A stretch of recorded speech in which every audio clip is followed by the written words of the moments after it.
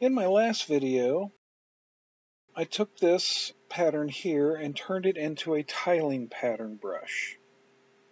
We're going to do the same thing today, but we're going to try to make it a little bit more intricate. And the first thing I want to do is kind of simplify the flowers a little bit, make it a little bit less busy.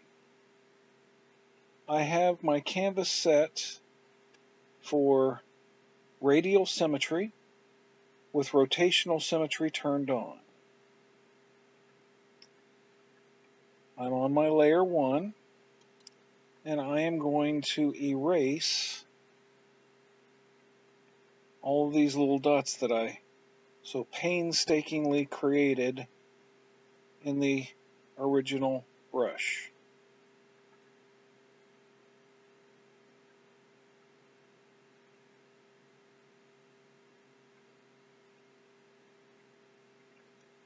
I've gone too far, but that's okay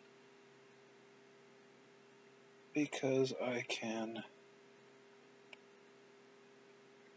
redraw this part. There we go.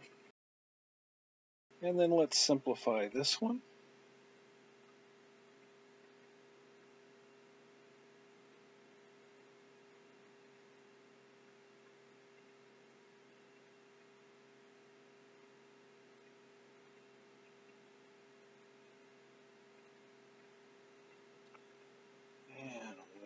Here. Let's fix that. There we go. And then we're going to simplify this one.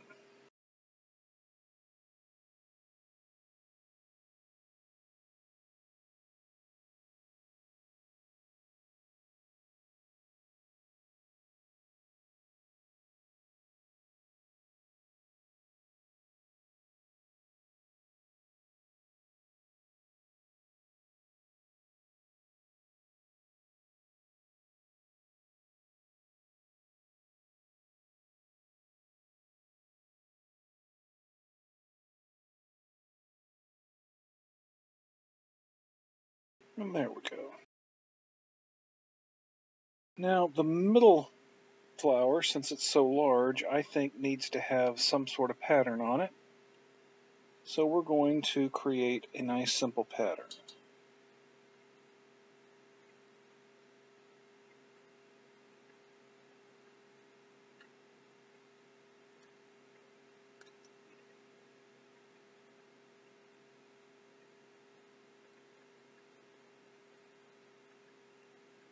Just alternating going left or right. Let's edit that shape and turn it into a nice arc. There we go. And that looks better. And then we are going to take this, I'm going to duplicate it. And that way if I make a mistake, I can come back to this point and fix it. Let's go ahead and fit the screen. And we are going to get rid of our stems.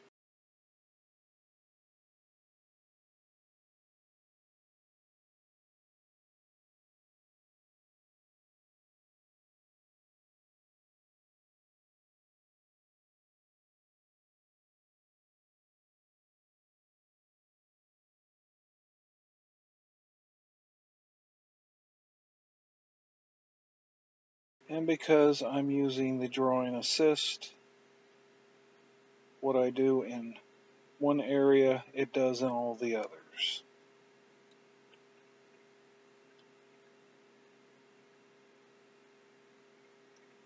That looks kind of wonky. I'm going to redraw it.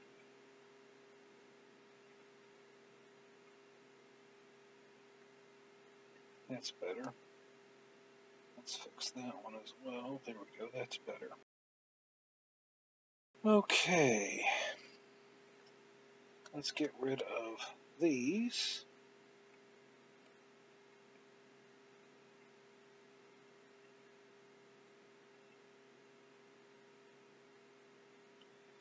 And then I am going to use the freehand selection to select the center flower.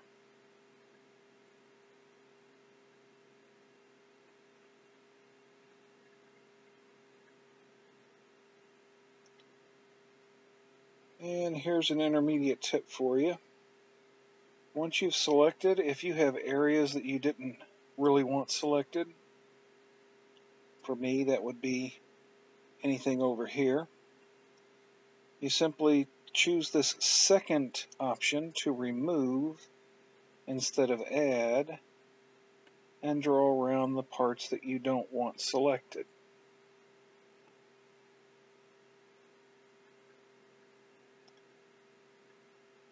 And I've got a little bitty piece there.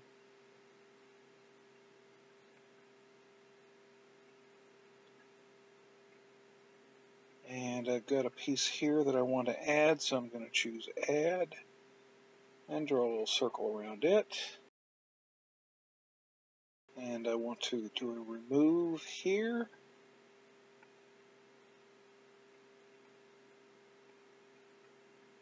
Okay. And then we go to the Actions menu, go to Add and choose Copy and we're going to paste it here into layer 3. Let's turn layer 1 off so we can see what it is we're doing. And as you can see, we got this lovely flower, and I want it to overlap in the corners. So let's duplicate it three more times, and we will take them and move them into the corners so that one quarter is there. And you notice how easily this is snapping. And that is because my snapping, I've got the magnetics and snapping on. I've got the distance set to 21. And the velocity is set for 6.2. This dictates how close it needs to be before it snaps to the individual points and that's why it jumps so easily for me. This can be a disadvantage later on if you're working in really close quarters. But you can just simply change those settings to fix that issue. So now I'm going to pinch all these layer 3s together and I now have a copy of the central flower going into each of the four corners. We're going to go up a layer and turn on Drawing Assist, and then I'm going to duplicate it. And then I'm going to go up another layer, and here on layer 7, I want to create my guide for my overlapping stems. I'm going to go to the HoloLine 2 brush, which is just a copy of my HoloLine brush, where I set the secondary brush to a maximum size of 50% with no minimum. The primary brush is maximum size, maximum minimum sizes turned off as well. So I'm going to create an arc.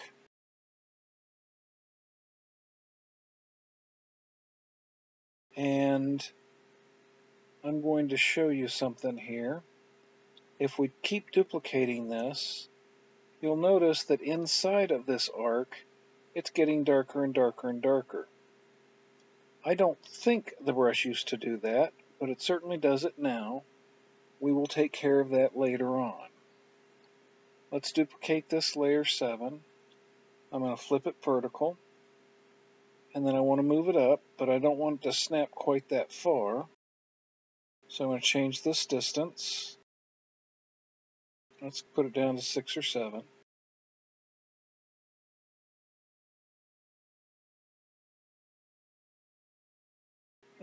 And that looks good.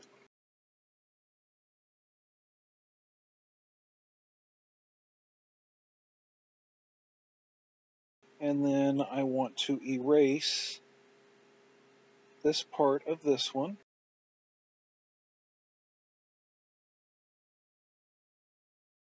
And on the other side on this one. And then merge these down. I'm going to duplicate this. I want to make sure that both of these are centered. And then I want to take the top one. And this time I'm putting the snapping distance back up to 2021. And I'm going to move this up until it snaps halfway in. And then we will take the other layer 7 and do the exact same thing.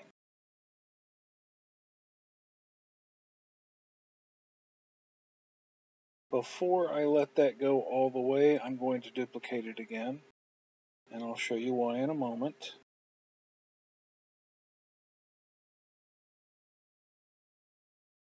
We're going to merge these two layer 7s together, duplicate them, and because I have magnetics and snapping turned on, when I select these, every rotation is 15%. So three rotations, you got 45% going there. And this shows you where these stems are going to end up which shows you how it's going to actually interact between the corner flowers and our central flowers. And we're going to duplicate that again.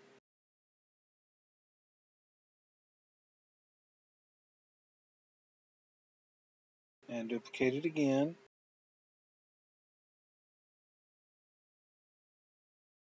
And we now have mapped where everything is going to end up.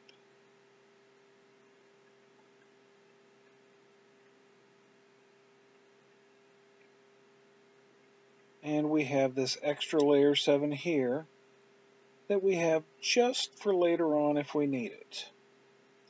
I'm going to move it down here underneath layer 1. I'm going to take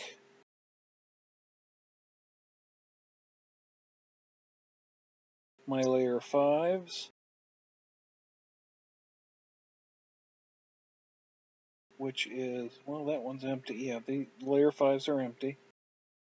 We'll merge the layer 7s together by pinching them and lower the opacity. Somewhere around 50% is good.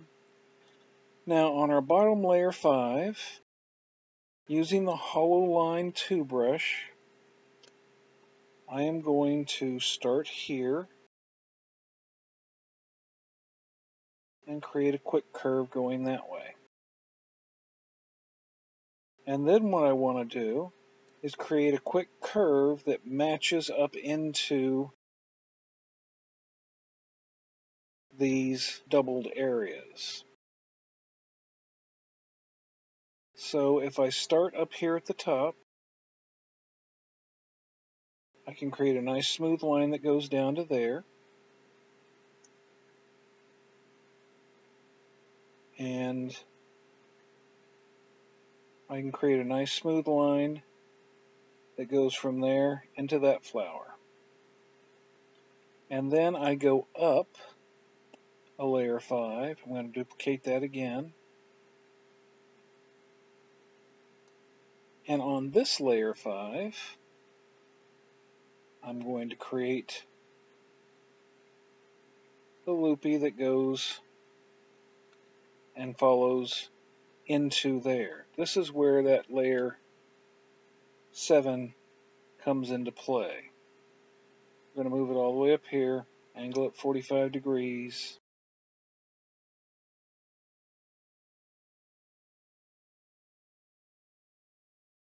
And I am going to match it into that one.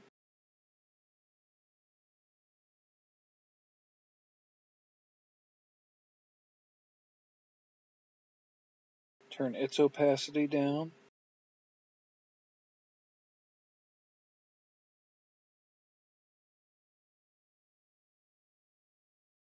Let's make sure which layer 5 we're on. We've got this one. So we're on this one.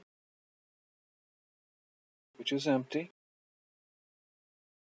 And I am going to follow this curve right here.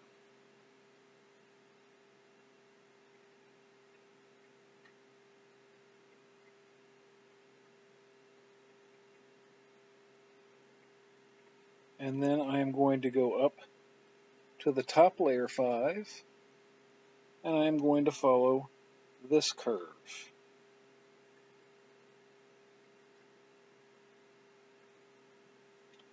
And that way,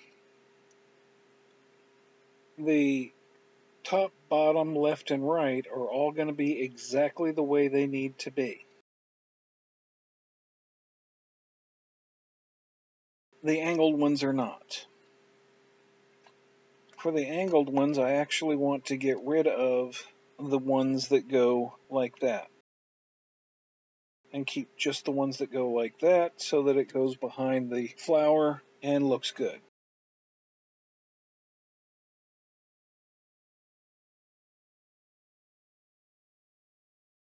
So what we're going to do next is we're going to do some erasing. And I want to make sure to erase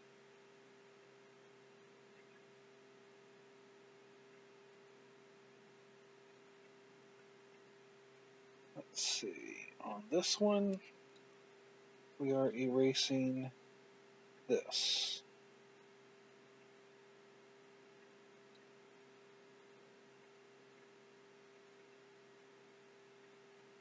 And on this one, we are erasing this. And that matches what we had there for layer 3.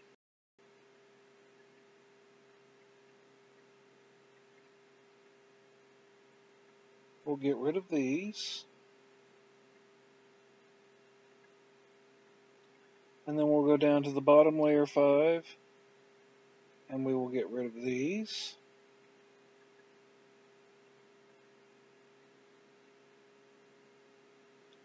And that way we have that nice detail going on.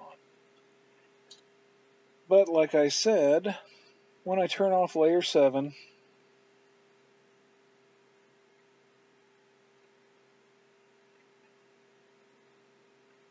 we still have areas that I need to take care of. And where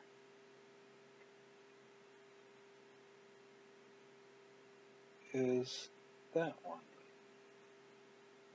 That's that layer 7, isn't it? Yes, it is. Okay. Alright, so I need to fix... Ooh, I need to fix these, and I've already merged them together. So we'll carefully erase here, and carefully erase here.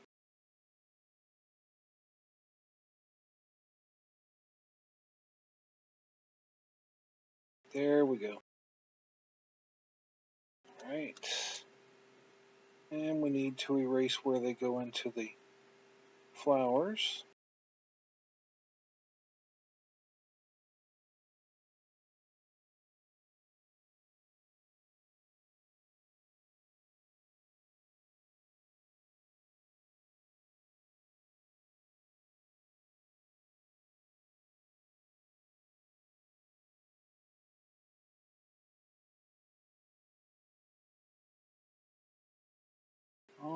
And then we're going to change to quad symmetry. So canvas, edit drawing guide, go to the option, turn it to quadrant, and click done. And what we want to do is get rid of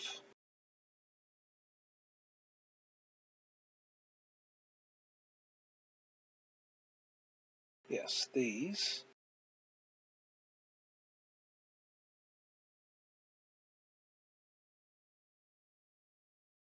And then we want to repair these.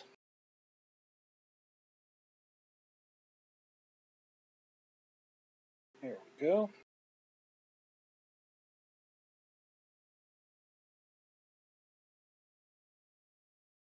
Monoline. Going to connect that up there. And we are going to erase inside the lead. So that means that only where the leaves are on these flowers is it erased. The stem goes behind it instead of in front of it. And we need to get rid of these stems right here. And I forgot I have quad symmetry on, so that means I got to do it there too. There we go. And then we can merge our three layer fives together. Layer three is the one with the corner flower. Layer five has the stems, and layer one is our central picture. So let's pinch those three together. And there we go. We're now going to invert and copy.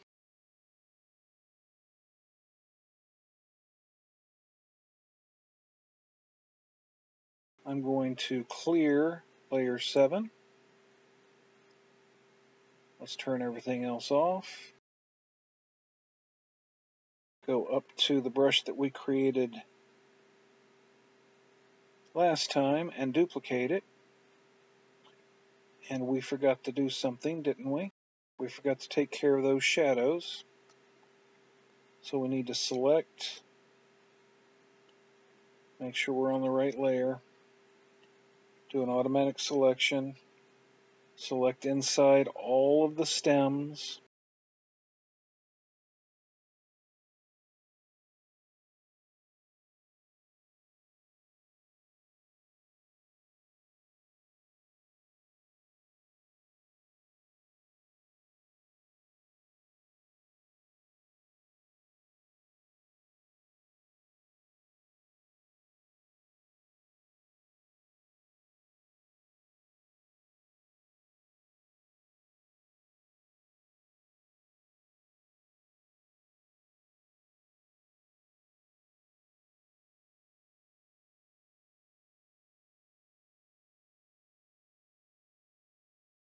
and then we will clear. Now we will invert and copy and invert back and go into this one. Go to the grain, edit, import, paste. Click done and done all the way out and let us test this brush.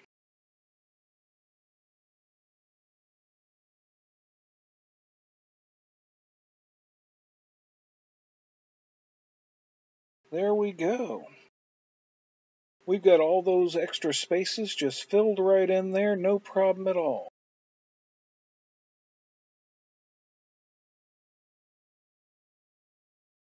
All right, I hope you enjoyed this, and you have a wonderful day.